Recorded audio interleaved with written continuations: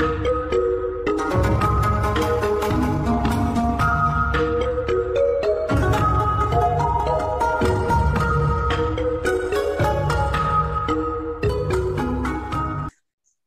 and welcome back to another episode of International Immersion, a podcast that seeks to capture the combined experiences of people, places, culture, traveling, current events, living abroad, and much, much more. For today's episode, I have a very special guest from Myanmar, and he has so, so kindly decided to sit down with me today virtually to talk about what is going on in Myanmar and shed more light on a lot of the events and unfortunate circumstances that have led the situation to devolve to where it is now.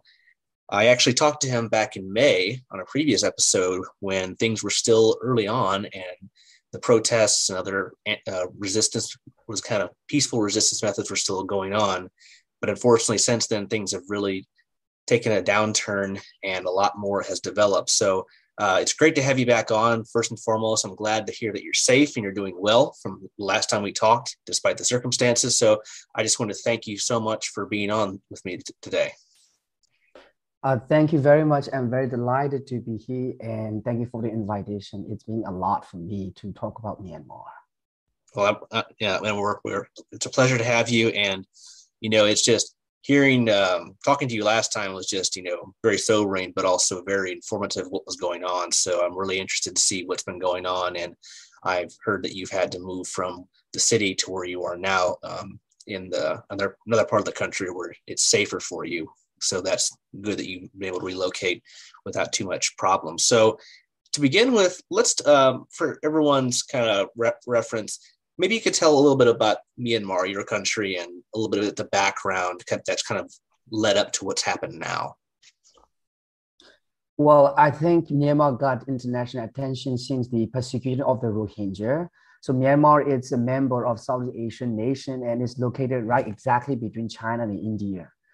And Myanmar is composed of many et- many diverse ethnic groups, and each of them have their own unique culture, custom, tradition, and language as well. So I myself belong to one of the minority group called Kachin, and the vast majority are Buddhists, and the ethnic group are called Burma. And I think the Myanmar got Myanmar never got a single year of peace after we get into even after we get independent from uh, British in uh, uh, 1948. So I think Myanmar has always been in a very complex issue it seems like diversity is a problem in Myanmar. Yeah, that is one thing that's been consistent in the news is just that the the cultural and ethnic diversity is amazing, but at the same time, it's also been a huge source of contention between the groups and majority versus the minorities. And then at the same time, Myanmar has a very rich history. It's you know, has a very long history.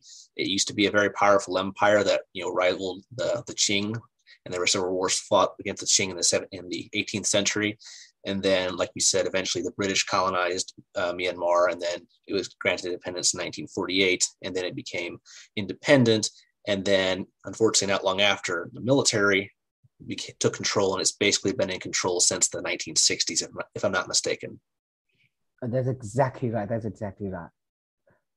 Yeah. So then but yeah, I mean, the other thing is just I've heard, you know, it's a very beautiful country. There's a lot of, you know, it's very rich culturally. So what's going on now is just saddening because that's been basically turned on its head.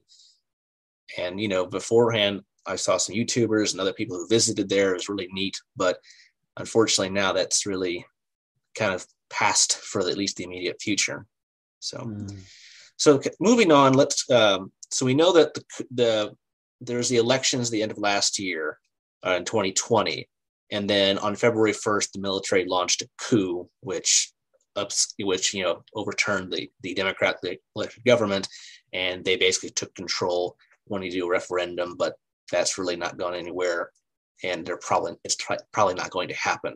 So, you know, and and from our last time we talked, you know, that sparked a huge amount of protests, which which quickly devolved into a lot of other problems. So, maybe in a nutshell, could you kind of explain as a, an eyewitness what's happened from the coup up until now? So, you know, getting close to a year. Mm. Yes, I think, Sean, as you have said earlier, that what happened in, in Myanmar is real tragic. and I'm extremely sad what is going on because I was so excited, right? I mean, last year I was in the United States and seeing that democracy in action. I was very excited. I want to bring that values in, and I and I did.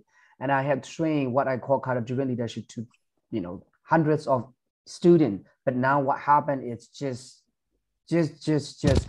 That's why I think the uh, favorite uh, first coup still came as a root shock to all of us so I think I really want to bring you three phases, what I call three phases. First phase is called silent phase, because nobody, nobody, because we were shocked, right? I mean, I mean, we we were encouraged to stay at home because of the COVID. We are dealing with COVID. In Myanmar, it's a very poor country, one of the poorest nation on earth. So we are dealing with coping with COVID, coping with poverty, you know, coping a lot of stuff. And then this came in so first call is what I call silent phase. So we don't know what to do. We were shocked. Everybody and and more important, I still remember on that very first coup day, and then we everybody lost their connection. You cannot connect to the internet. You can even call your cell phone. Everything is disconnected. We are disconnected. So silent phase. We really don't know what to do. What is going on? But and then after that what i call awakening phase oh my goodness we we must do something about it right so for the particularly i really give all those credits to the generation z who was very young who just teenager they got very upset and they, are not interested in politics they don't care what is going on around the world what they care is just a game but now they say, oh my God, my future has been taken away. I must do something about it. And then we don't have any leading figure. For instance, in 1988, right, when the Nobel Peace Prize laureate Daw Suu, she was the leading figure. But for this revolution, none of none of the politicians leading this movement. Everybody take up that moral call, and then we think that we must do something about it even the Rohingya people, they say, oh my God, we must do something about for this nation as well. They take up, they say, I'm Rohingya, I'm against this military coup. So everybody's, you know, take up this moral calling. As we are very united. We were you know what? We were very united. We were extremely disciplined you know. During that i still remember you know hundreds of thousands of you know uh, people came up. It's across the nation i mean across the nation i was in yangon. But i see through the social media people were extremely united. Let's say tomorrow please come and you know assembly this area. And thousands of people came up like that. This is called what i call awakening phase protest has become a bread and butter for us. And the third phase is called violent phase. You know what? If you are hungry, if you are thirsty, and there will be a food for you, because during that protest they will say, "Please do something for." Thank you for doing something for our nation in this very, you know, uh, uh, very sunny day like that. So people are encouraging each other. People are inspiring each other. People are, you know, giving, you know, uh, hope each other like that. And then suddenly, I still remember that in the capital city of Myanmar, there's a 19 years old girl. She was just you know, protesting, but she was just uh, uh, under the tree, right? And then she, she was leaning on a car because it, it was very hot and there was protest. They would just have a, a little bit of break. And then that uh, so-called, you know, so-called the security forces shoot her right away and then it, it, it's brought our anger. And then the next day thousands of people showed up for a final well final fairway and then we were showing this three finger salute. And we said okay we're gonna fight until we fight this fight we we, we, we this you know fight is over like that. And then from that day on i see the um, uh, first year medical grad uh, medical student got shot and another teacher got shot. They don't care which professional you belong to. They don't care whether you are young or old or whether you are even a, a peaceful protest protester. You know, one just six year old girl, little girl, she was just, you know, staying at her home, you know, playing around with her daddy. The security forces came in her house and shoot her. So I mean, that's what I call a violent phase. From that day on, now everybody have to, everybody have to run away, and myself has run. I have to run because no, nowhere is safe in Myanmar, and that is exactly what happened. What I call silent phase, awakening phase, and now the violent phase. from that day on, still they're killing everybody, and they had really turned our nation into what I call a slaughterhouse. You know, that's just so sorrowing to hear, and to think that they can be so indiscriminate on that, especially when people are not protesting violently. They're just simply expressing themselves, and then all of a sudden you don't know if you're going to be shot or beaten or arrested or disappeared. That is just that's horrifying, and that's just you know so so saddening because like you said, these Gen Zers, you know, the younger generation, they weren't really into politics. It's the same a lot, in a lot of places, but when your future, your livelihood, and your ability to, you know, have a have a, you know, maybe a uh, a life or have, you know, what any human being should be able to aspire to do or to be is threatened, you know, that shows a lot of, you know, conciliation and also just, you know, hey, we're all threatened. So it's just more of a spontaneous thing they did and that's just that's very uh, motivating but at the same time it's very sad because they've used the, the military has used such force and you know vi- and you know violence against them including you because i know you've been in some of the protests and you've seen some pretty graphic things happen to people which is just you know no one should have to see that or even in, or experience that. Exactly exactly yes exactly.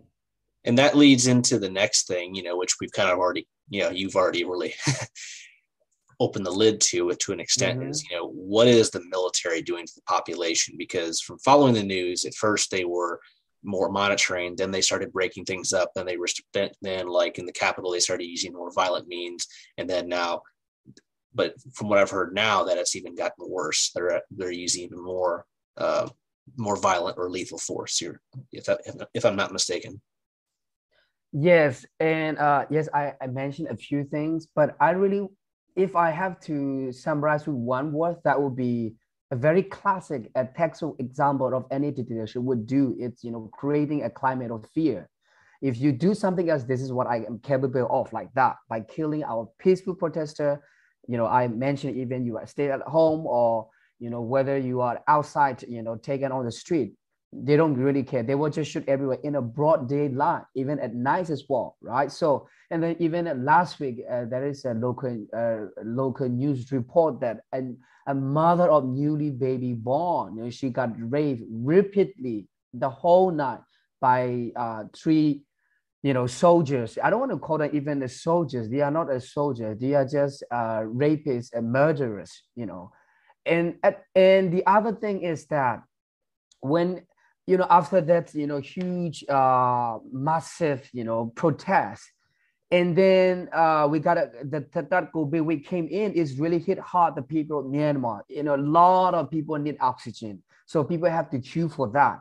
But the military didn't allow for people who needed oxygen like that. So it's it's it's you know sometimes I can't even breathe. You know that time a lot of COVID happened in India as well. So in Myanmar, a lot of kids rise up and they really use oxygen as a weapon, you know, to to intimidate its people and to create a climate change like that. So, and uh, now just just last a couple of days ago, the military announced that uh, people are not wear people are uh, not allowed to wear masks because they said they, they want to check in so imagine even this is a COVID area. We you know we still have to cope with COVID, and still you are not allowed to wear masks in public. What kind of stupid is uh, uh, uh, gov- I don't want to call it government. What kind of stupid is that? You know what I'm saying? So this is what they have done to has been I mean uh, doing to its very own people that they say that they want to protect. But in our observation, they are not protecting us. They're just killing us one by one. And last but not least, I think the bank systems as well. Now, a lot of aid organizations, for instance, I myself work for the BBC Media Action. It's a charitable organizations as well. But what happened is that a lot of my get uh, uh, they, they stop a lot of the project because we don't have the cash because you are allowed only to uh, withdraw. I think uh, maximum 200 US dollar per week. So we don't have catch, we don't have catch, we don't have, you know, oxygen and uh, we don't have safety. We don't have anything. This is what they have done to us. I hate them, you know. Well, I wouldn't. Uh, I'd be a little. I'd be a little surprised if you didn't hate, have disdain, or mm. anything for any type of entity that would do that to its own people and used, you know, terror tactics. You know, you know, indiscriminate murder, rape. You know, things like that. That's you know, textbook oppression and terror tactics. In, you know, in a nutshell. But mm you know, it's just sickening. It just, you know, makes me want to literally, you know, makes me makes me sick to my stomach just hearing this because yeah, you hear about this, but when you hear from someone like you who in in in a number of ways has experienced it firsthand, it's just it's it's it's reviling to say the least. And that you know that leads to our next point is you know you know why have protest why have the peaceful protesters in many cases decided to take up arms because I did see some reports a while back a lot of protesters had fled into the rebel areas of different different um, uh, ethnicities or uh, minorities that had had armed unit, armed wings that have been fighting the military for decades, and a lot of protesters have now been joining them to receive training because they want to ba- basically take the fight back to them. That wasn't an initial goal, but from watching some interviews with them, you know, via news and stuff, they're just saying that you know they don't want to li- they don't want their future taken away, like you said. Yes Yes, I uh, you know that's why at first, as I had mentioned earlier, that we cry for help, right? I think, uh, for instance, you know, every day, right? Let's say uh, today, let's let's go and protest there in front of the uh, American embassy, and then uh, we, we we really allocate uh, different group in different embassy. Please help Myanmar. Please, you know, do something else for Myanmar.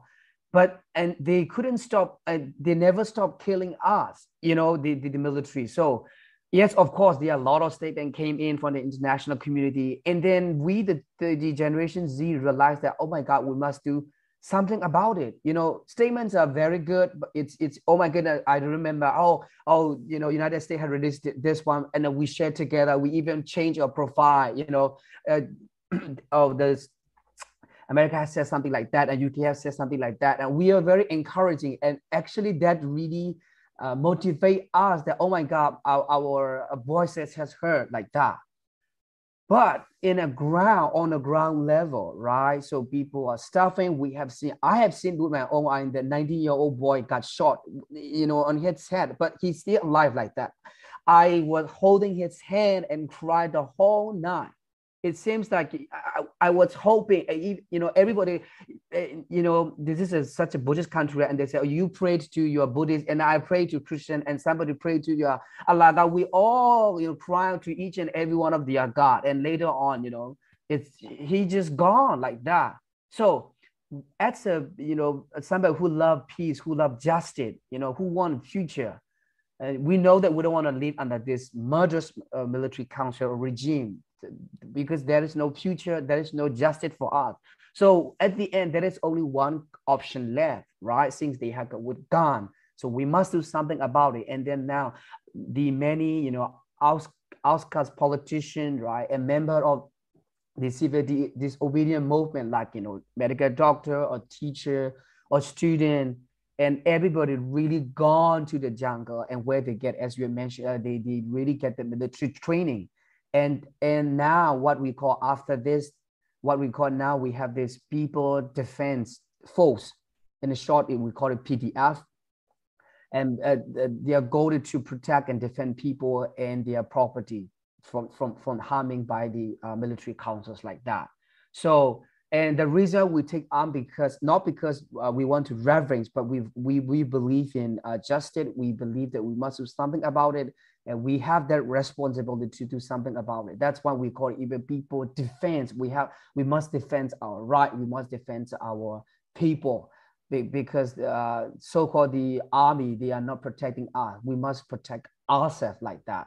So why we decided because we have no option left because the pro there is no progress uh, when uh, but at the same time, young people still they protest peacefully in a guerrilla style. But at the same time, we the people, the the the the, the PDF, they get military training and then they attack some of the uh, some of the posts.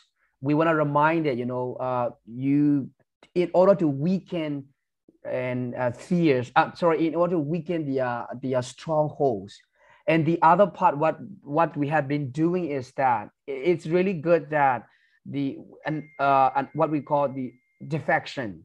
Some of the uh, uh, captain now he's quite uh, quite uh, well known in Myanmar now. The what they call it the the he organized what we call people soldiers, right? So he uh, he really uh, encouraged other his comrade, you know, to, to do that defection and and and and uh, follows uh, the people desire and people will like that. So yeah, I did see so, I mm. did see some that a decent number of both soldiers and police, you know, basically defected or fled because as they as some of them inter- were interviewed when they they fled to India or some other places, they literally just said I could no longer do you know you know kill or you know hurt my own people. It's like they hit they was like you know they just couldn't you know it's just like anyone it's like you, your conscience won't let you at a certain point even if you're ordered to do something like that it's just like in your heart you know that's not right yeah but no i i, I am so sorry you had to deal with that when that you know you had mm. you guys witnessed someone you know die from a gunshot wound you know and trying to save his life that's i'm so sorry you had to go through that that i can't even fathom how bad that is or how awful that must have been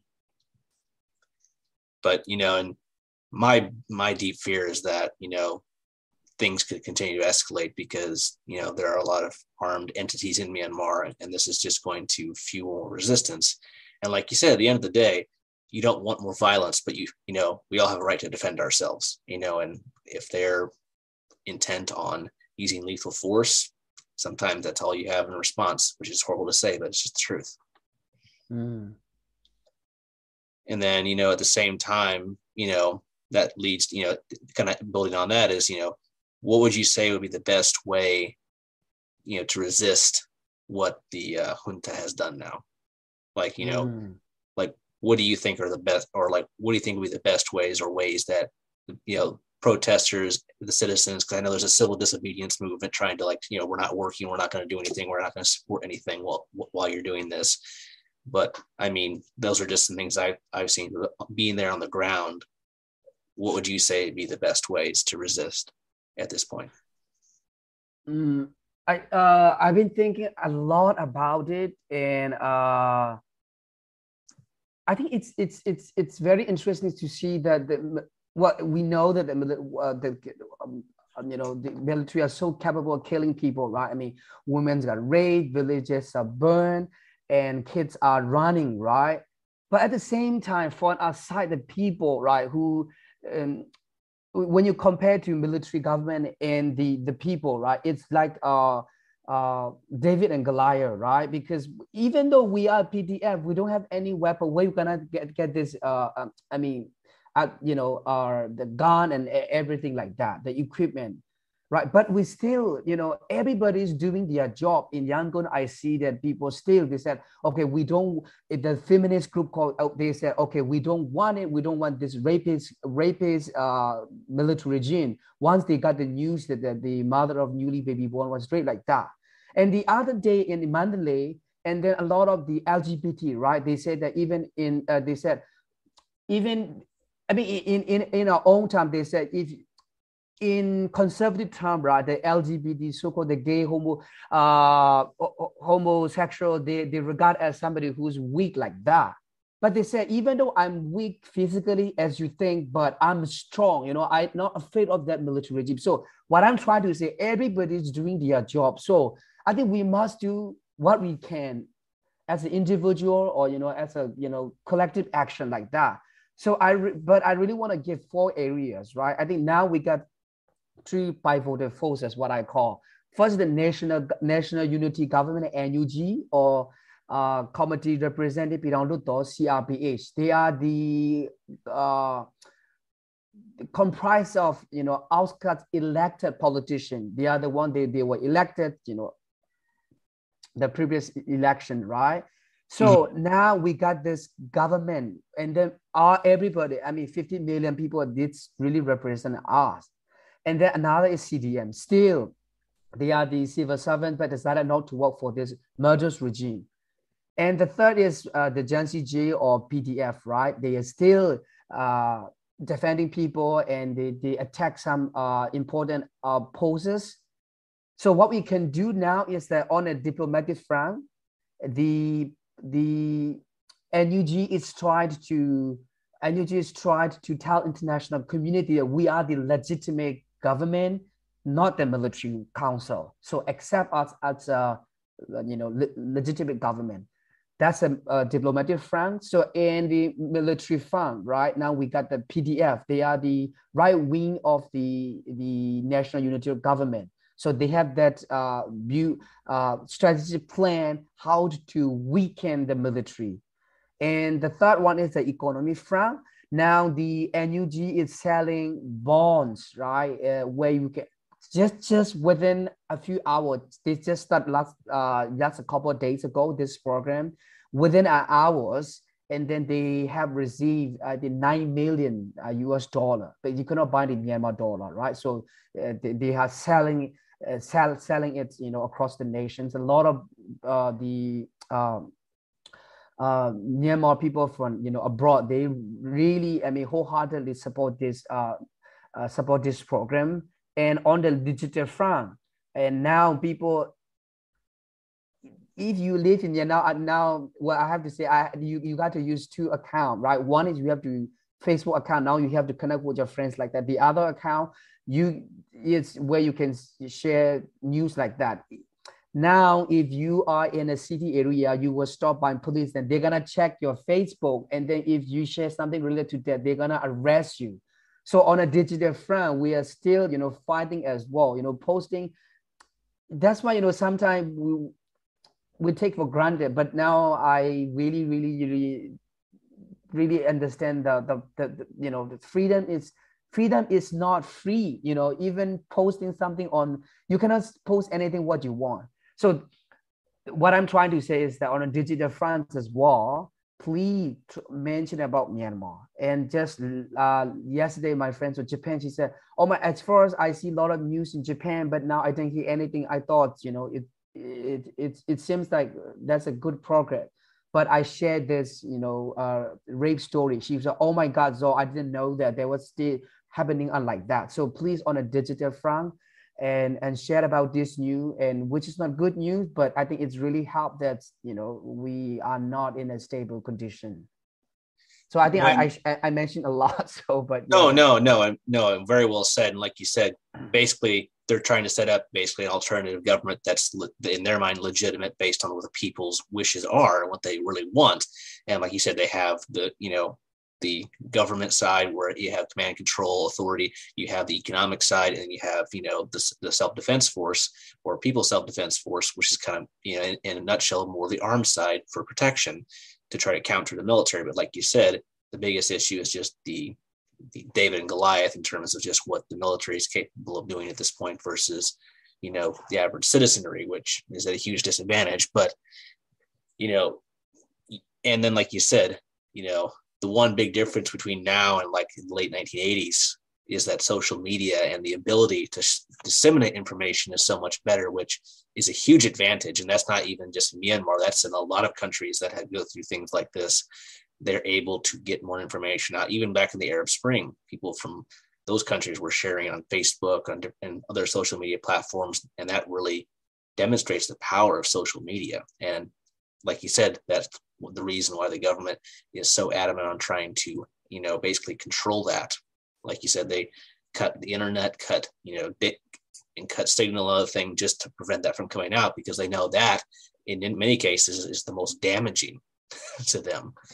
Mm-hmm. And but yeah, like you said, that that's horrifying in that you could be arrested or detained or even worse just because something for speaking your mind and posting something. That's that's that's awful. And you know, something that no one should have to worry about because you know you should be able to express yourself you know and but you know and like you said i think it's important to do that but you know in your situation you know just please take care of yourself and you know mm-hmm. do what you can to avoid any unnecessary attention but yeah, i think it's really good that you're doing what you're doing now mm. so, but no i mean just th- the things that they're doing it it doesn't doesn't take much to think oh, why are the people resisting? Oh, they should be resisting because if you know, if an armed group came into my area and started killing people and doing things, I, wouldn't be uh, doing nothing. I would be doing at least something to try to stop it. I mean, that's just, I think that's yeah. kind of common sense.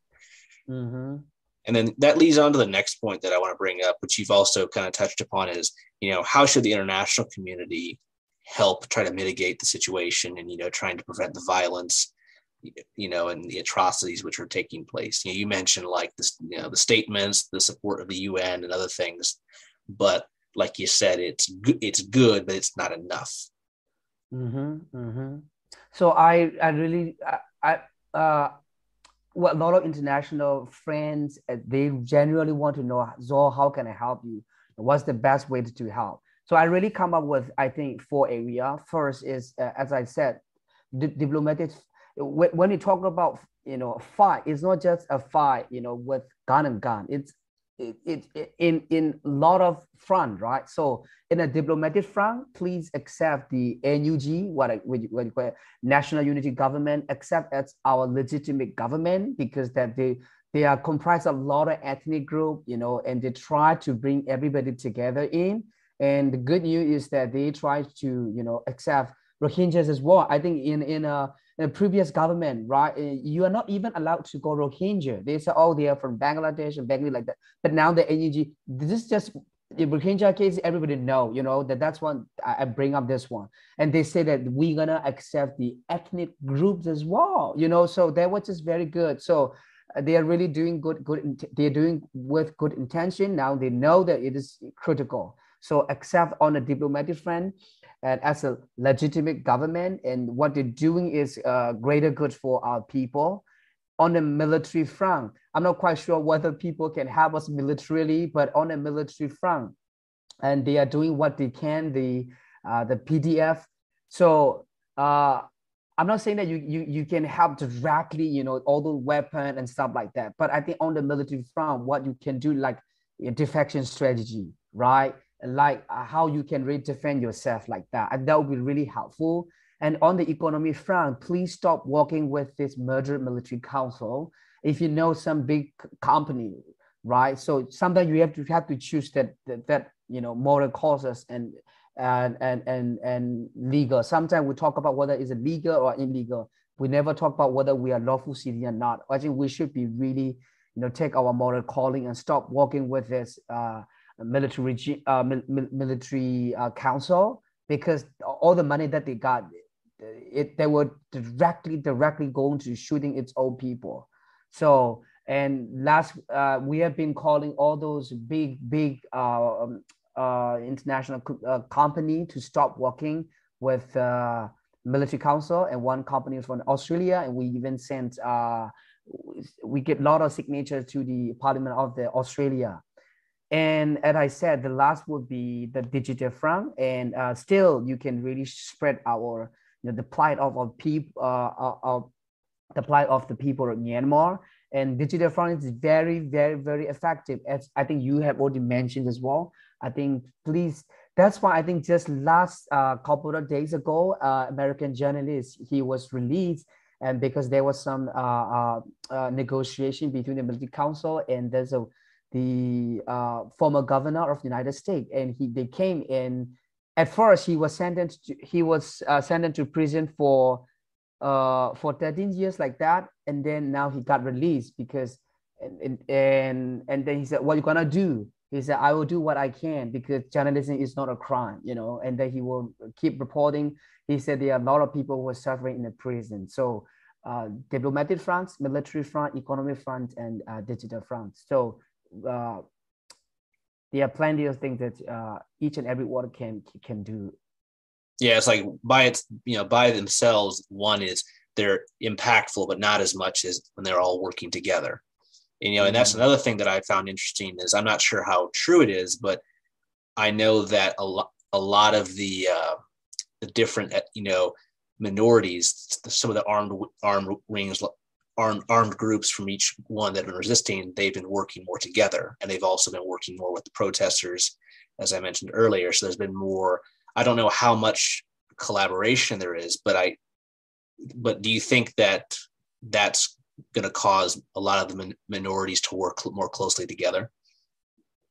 Uh, you know what? Minority has been very close together more than ever because we understand the suffering. You know what? It's very interesting for for this uh, because of this what we call revolution. The vast majority are Burma and Buddhists, right? So they never experienced like that when they talk about rape case.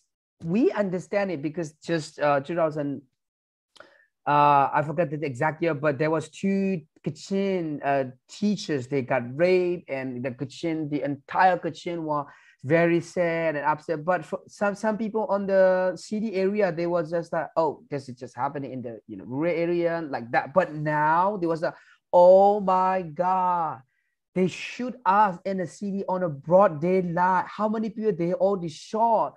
when the ethnic area ethnic people are in a jungle where they can access the internet where where they can you know express themselves like that so so minority has been very united and you might uh, you you might real you might aware that even when the state council Daw Suu when she defend uh, uh, the, the military at the uh, ICJ right?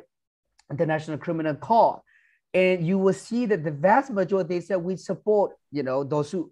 But on the other hand you see a lot of ethnic group coming together and against her not because not uh, we're not against her personally, right? But we against uh, who's somebody who's going to defend who is undefendable, right? Undefensible. This military, this military that committed crime against humanity. So you see that the minority has been united ever, and but now the majority joined to our causes because they said, "Oh my God, we didn't know."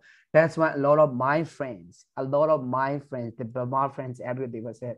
So I'm sorry that you guys has been suffering like that, but now I know that we have been lie You know, they the military are very good at playing the religious and uh and racial identity card, you know, which is very powerful, which is very sensitive.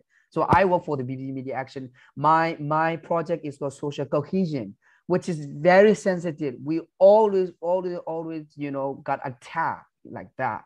So yes. You know, and like you said, it all comes down to awareness, and you know, mm. you know, as, as, the one adage goes, you know, out of sight, out of mind. If you don't really see it or exposed to it, it's hard to like, oh, is it? You know, but once you once you experience it yourself, or you know someone yeah. who, who experiences something, then that changes everything. It's like you know, you know, a you know, a switch flipping in a way. And it is, you know, and I just hope that, you know, the you know the self defense force and and the new and the basically uh, opposition government, as you can call it, continues to gain more strength, and you know the people of Myanmar can get what they really want because it's very mm. clear they want you know democracy. They want they want the right to control their own destiny, which they're being mm. denied now. And that kind of leads on to my next point, and this is more, I think, speculative at this time. But what do you think the outcome will be? Because you know this has been going on for about a year now, and unfortunately, I don't mm. think it's hmm. going to end anytime soon. That's just my my personal hypothesis. But being there, what do you, what do you foresee or, or potentially can predict? Mm. Mm, uh, I think I, I mentioned earlier as well that people are very united now the majority minority. Now we don't have a majority minority. Now we don't have rohingya like that. We said okay we see that humanity right? Because of covid and we are one what we want. We all want justice. We all want justice must be served. Justice you know something must be done like that.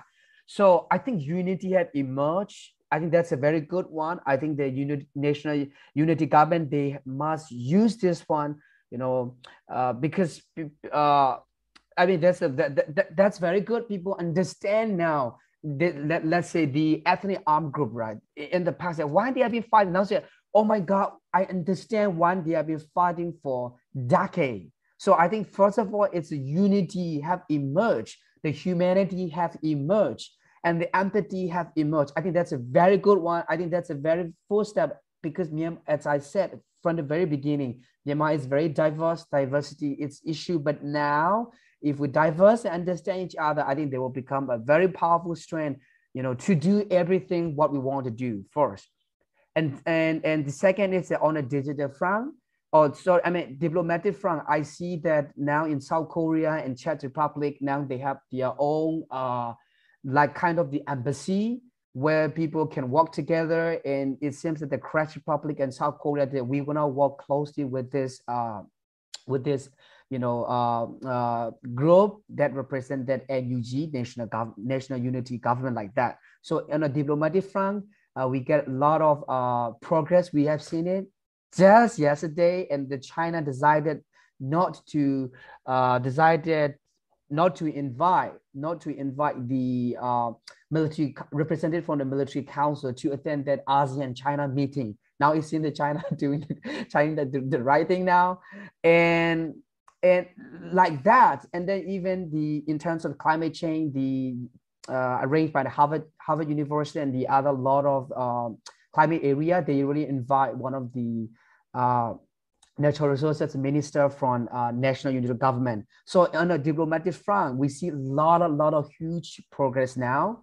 On the military front, and uh, on the military front, well, as I said, technically will be like a, a you know David and Goliath, but but now what happened is that the armed ethnic group they, they are doing what what they can the best they, they give that uh, military training to everybody who have you know committed you know to defend their own people like that so on the military front they are very united but still you know technically speaking let's say if all the ethnic group united together fight against this one it is possible well, I would just give you one figure. We none of the ethnic area have the military, I mean, the the uh, jet flag.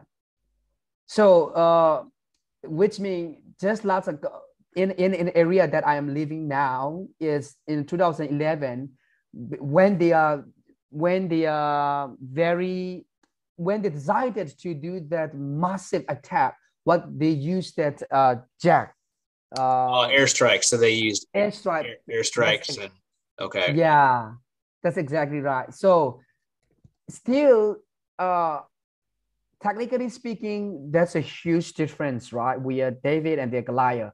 But the thing is that you have we really have to use our brain because no, not even for the military, they have never uh, experiences, you know, uh, a fight in a city area, right? Where you have that, you know, uh, uh, uh, uh, general public. If you are fighting in a jungle area, you know, there, there's nobody, only two people like that.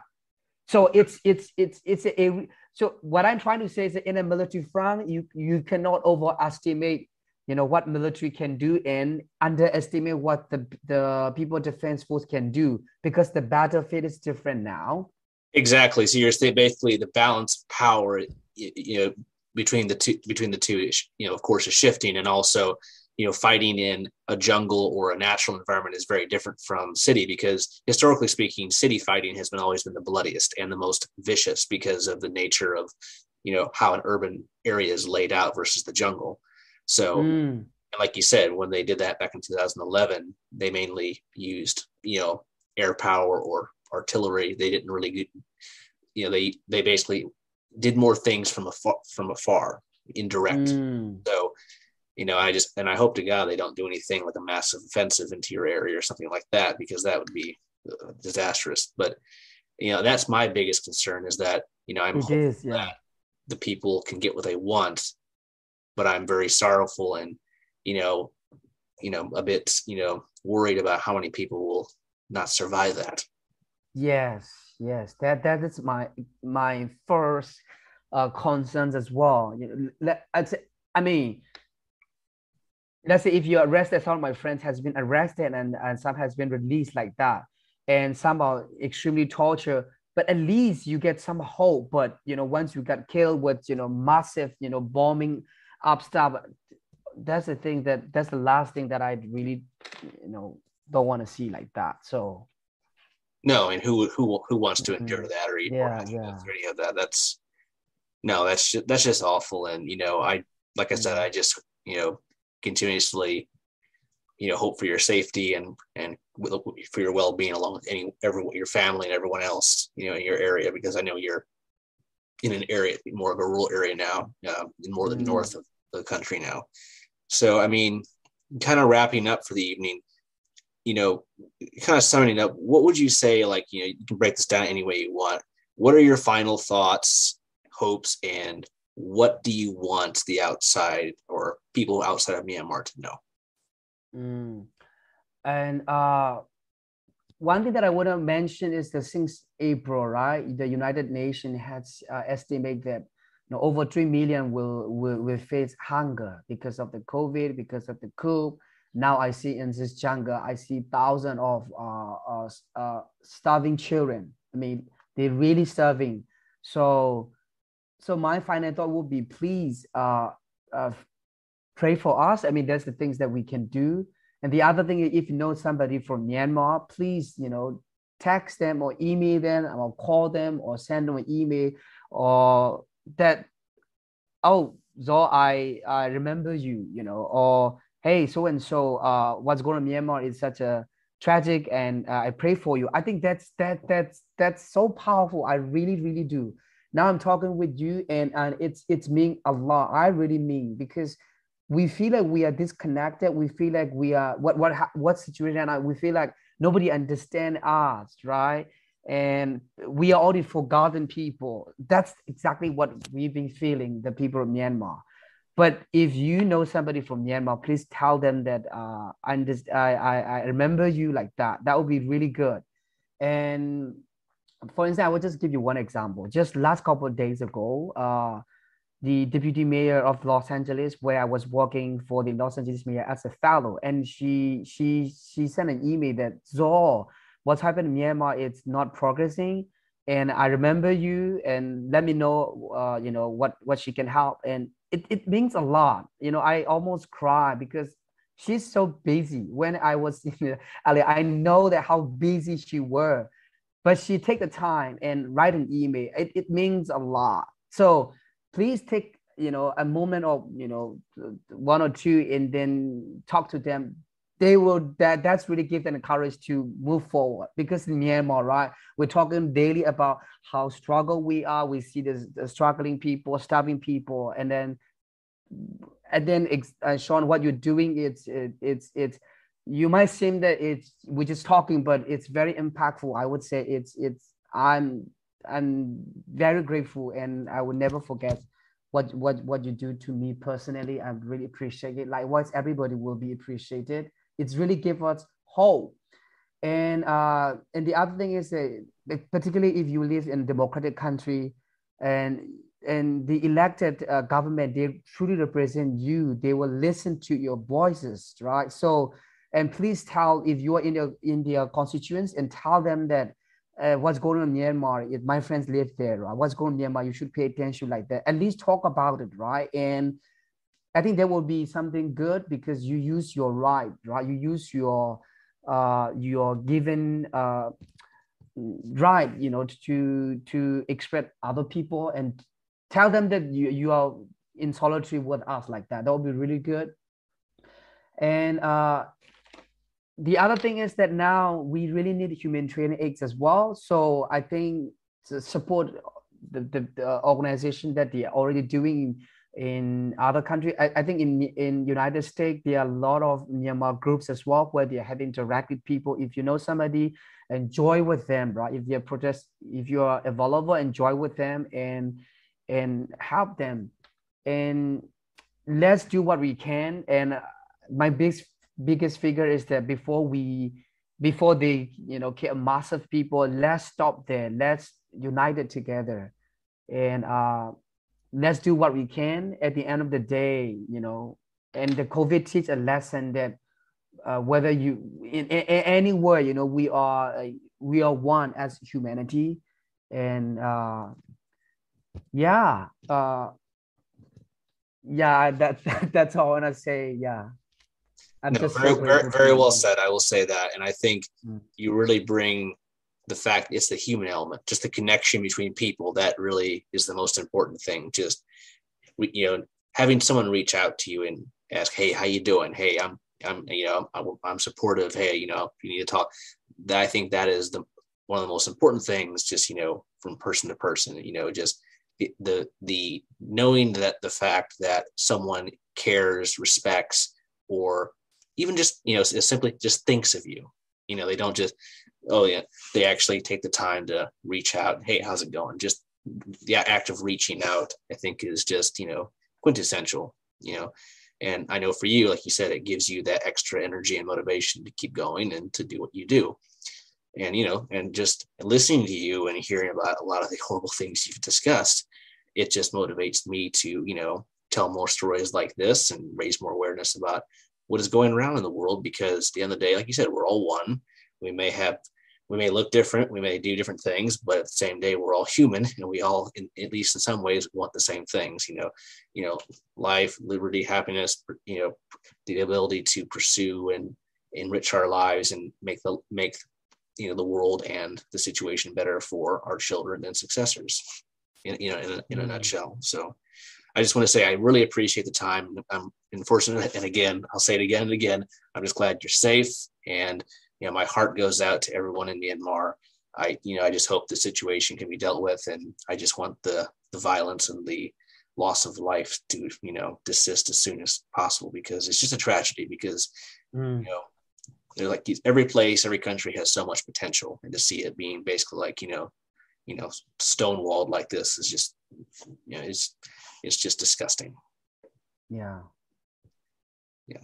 Well, you know, well, I'm just saying, you know, and kind of to top it off, I think the one thing that I really take away is just the resilience that you and mm. your fellow, you know, um, you know, Burmese, as we say, or you know, or you know, you know, citizens of Myanmar demonstrate is just, you know, is just amazing.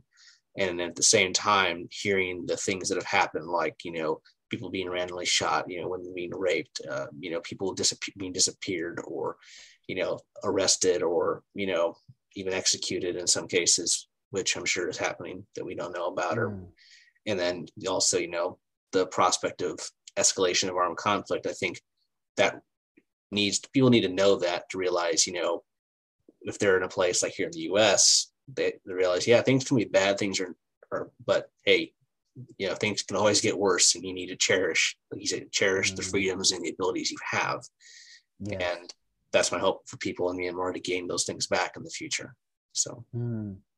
but no i just you know i really appreciate the, th- the, thoughts. You know it's really you know it's a bit um you know r- rough to hear about this but these are stories that have to be told in my opinion. Mm. exactly exactly. And what you're doing is the right thing and thank you for doing that. And uh, again again i mean i really really appreciate it. I would say thank you in person and hopefully that day will come very soon sean. Likewise likewise. Mm. that'd be great we can meet back in person again like we did in the past. Mm. you know, yeah. under better circumstances for sure. Yes yes yes please yeah. Well again i really appreciate it. You know it's been a great it's been great catching up to you and just hearing what you had to say despite the negativity and you know the situation you're experiencing. So you know, like I said, my continued hope is for you to be to be continue to be safe, your friends and family to make, be safe, and to be in a situation where you're not constricted or you know being forced to reside where you are for your own safety. So you know that's my hope and. Like I said, I'd be happy to do more episodes to talk with other people about this and other issues. So, you know, just let me know. I'll happily, uh, you know, put, you know, try to put more episodes together. So, just want to say thank you very much for for joining me. This has been another episode of International Immersion. Uh, if you you know, like like like he said, anything you can do, you know, spread the word, raise awareness, talk talk to your friends, family, coworkers about what's going on, see what organizations are out there, donate, uh, you know, join, you know, check on social media, different groups. Anything you can do will help, and you know, and give you know people like him and his fellow you know fellow citizens the ability to kind of gain back what they what they want and to be able to prosecute their own you know um, destiny in the way they should and not be limited by that. So you know and for international immersion i'll link more information about the situation in myanmar in this episode description. You can check it out there. Uh, if you have any questions thoughts any ideas or anyone else you think we could talk to about this or other issues just send us an email at internationalimmersionpodcast at gmail.com check out our facebook page Instagram page and our LinkedIn page as well. So with that, signing off, we will we be back for more episodes discussing new topics. Our thoughts and prayers go out to um, my guest and his and everyone in Myanmar. And with that, this has been another episode of International Immersion, and we will see you on the next one.